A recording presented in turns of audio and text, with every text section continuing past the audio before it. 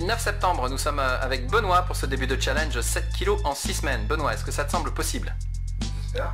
Alors c'est parti, tu montes sur la balance, 106 kg 700. Aujourd'hui 22 octobre, on est avec Benoît pour cette fin de challenge 7 kg en 6 semaines. Benoît, ton poids initial était de 106 kg 7. Tu dois être en dessous des 99,7. Est-ce que c'est possible? Ouais, je pense.